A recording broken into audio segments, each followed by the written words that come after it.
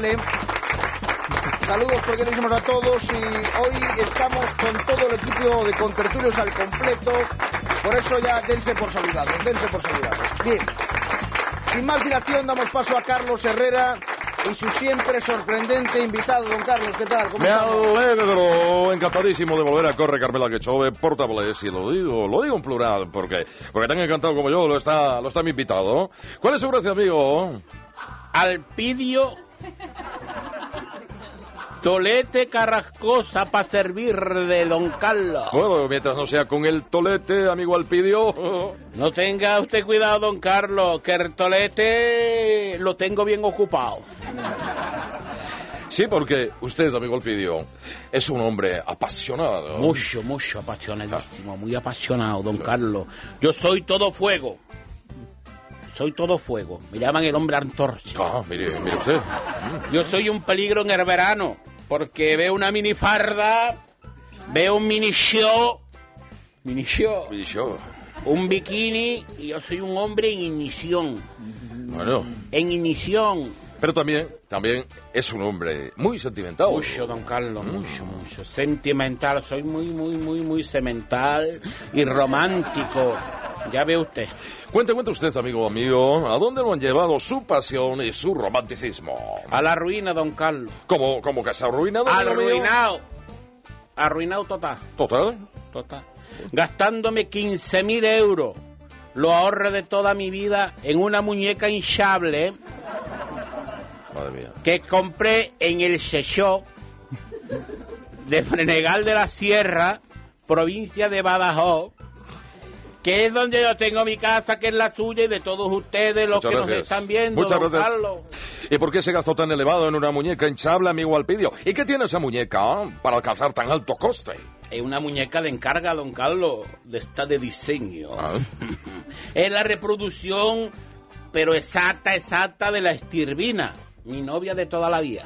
¿Y qué ha pasado con la etervina de carne y hueso? Era inaguantable, don Carlos. Era inaguantable. Tenía una muy mala leche. Qué mala leche tenía la hija puta. Pero usted aún la ama. La amo, pero no la aguanto. Ah, bueno. Y por eso he encargado la hinchable, que era igualita a la estirvina, que medía un metro sesenta y tres como ella, pesaba 58 kilos como ella y puede ponerse en cualquier posición. Eso pluma. Sentada, estirada, de pie como ella. Mm. Vamos, igual, igual que el original. Igual, igualita, pero calladita y sin mala leche. Mm. Muy discreta, la muñeca hinchable. ¿Y ¿Es usted feliz con la muñeca, amigo Alpidio? Muy feliz, don Carlos. Yo le digo, Estervina, vamos a ver la tele el partido de fútbol. Dele. Y la Estervina ni una palabra. Cachá. Estervina, volveré tarde que tengo una partida de dominó con los amigos. Ni rechista ni siquiera me dice una santa esta muñeca. Pero ¿no le gustaría dedicar sus atenciones a una mujer de verdad que lo escuchara y que le respondiera con ternura? Hombre, yo por probar que no sea que esta celosa no es, yo si alguna quiere, yo le doy el teléfono móvil. Delo, delo, delo, amigo mío, delo. A ver si hay suerte, ¿eh? Y encuentra usted su media naranja en Corre Carmela Quechove. Pues se lo voy a deletrear. ¿El qué? ¿El qué? El, el número del móvil. Ah, que me deletrea el número. Bueno, pues hasta en esto es usted original. Se lo deletreo a usted, don Carlos, y a todos ustedes que están en sus respectivas casas y hogares, que Al así mundo, se llama. Al mundo entero. Tome nota en papel y hoja de papel. Cojan, apunten. 6, 0, 7, Dele ahí. 4, 6, 2, 9, 9, 1. Venga, muy bien. Lo voy a repetir. Venga. 607 46 29 91. Muy bien. A ver si pica alguna y hacemos un menazatrua con la calladita. Muy bien.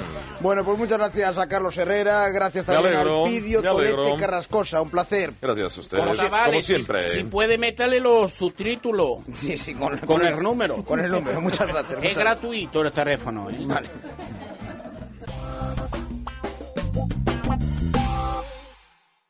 Ayer el presidente Zapatero había manifestado su deseo de comentar políticamente el anuncio de la tregua de ETA.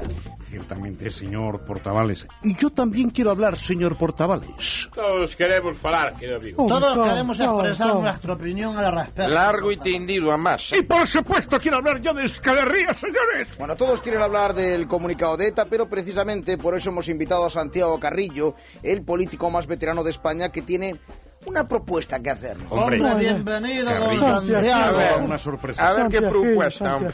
Saludos cordialísimos, queridos camaradas.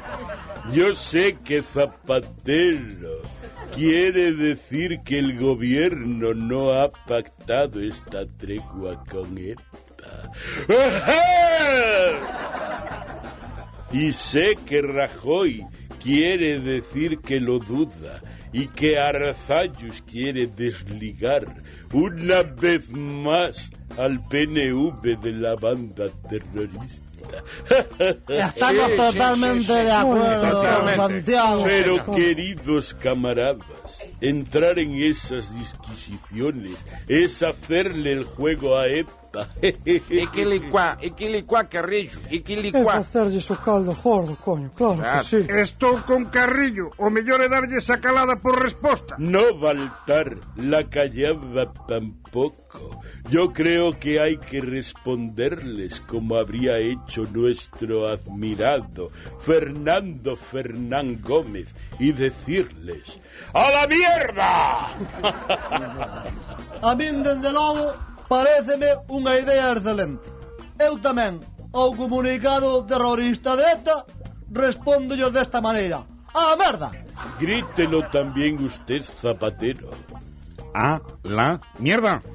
Rajoy, A la mierda. Manuel Fraga, mi buen camarada. ¡A merda! Llene más la boca y grite más fuerte. ¡A merda! A ver, pues llegado a este punto vamos a gritar todos juntos, pueden gritar ustedes también. Primero los castellano hablantes, por favor. A la A mierda! la mierda. Bien, habrá que enseñar más. Y ahora os, agora os galego falantes. A la mierda! Bueno, un momentito que está entrando el presidente Alberto Núñez Fijo. Sí, perdón pola interrupción, pero penso que esta resposta tería que ser dada entre lingüe. O 33% en galego, 33% en castelán e, por suposto, 33% en inglés. Bien, presidente, muy bien. Bien sí, pensado, muy bien, muy Por bien, favor, muy bien. pido que se presente inmediatamente Chiquito de la Calzada. ¡Aquí estoy! ¡Cuidado! Ese pedazo de presidente español de la pradera, presidente Núñez Fijo, no te llama Trigo, para no llamarte Rodrigo. ¡Ese torpedo! ¡Sexual! ¡De la pradera! ¿Te da cuenta? Penso, Chiquito, Sí. que esta é unha ocasión única para aplicar a política lingüística da Xunta de Galicia Sí. a un tema de importancia capital como é dar resposta clara e contundente ao último comunicado de ETA. Y lo vamos a hacer por la gloria de mi madre, ese pedazo de presidente número de la gallego, presidente Núñez Fijo, que se van a ir por la pata abajo los filtros de la chapela. Y el capuchón de Cucu Clan de raso, satén y seda en color wiki, wiki, wiki, wiki, el wiki, Wiki, wiki. wiki, wiki, Wiki, por la gloria de mi madre. Que emocionado estou, Chiquito. Yo Estou estoy llorando. profundamente emocionado, porque este, señoras e señores, este é un momento histórico da política educativa Atención que yo, yo pongo la música diodinal y ustedes ponen la letra primero en español de Valladolid, ese pedazo de pueblo castellano, después en gallego de la Fonsagrada, Fuente Sagrada, ¿te das cuenta? Sí. Sí. Y terminamos con el inglés de Ofo, Cambridge, Kentucky, Massachusetts, Arizona, por la gloria del Conde Moore, por la gloria de mi madre. Bueno, ¿Están vamos. ustedes dispuestos? Vamos, Vamos, ello, vamos, vamos, ello, vamos, ello. Atento, señoras y señores, al dato. Siete caballos vienen de Bonanza al ataque. ¡A la mierda! Siete caballos vienen de Bonanza. ¡A mierda! Seven horses come to the Bonanza. Attack. ¡To shit! Bien, bien hablado. Siete caballos vienen de Bonanza. ¡Alerta! Impresionante, chiquito. Gracias, gracias. Realmente impresionante. Pueden aplaudir por la gloria de mi madre. Eu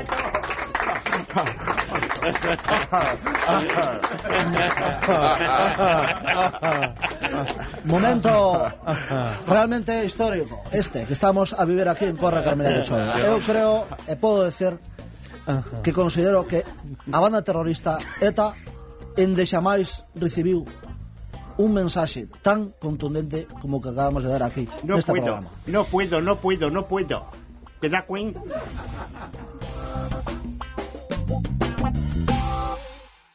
Pues esta respuesta al comunicado de ETA me hizo recordar una noticia, una noticia que decía así, que leí hace poquito, fanático paga casi 12.000 dólares por inodoro de John Lennon. Es una barbaridad a todas luces, Pablo. Pablo, ¿cómo se sabe que John Lennon puso as cachas ni se retrete? Está controlado, Baltar, está controlado. Que ya le hicieron el retrete, las pruebas de ADN de ADN y supieron que era de John Lennon.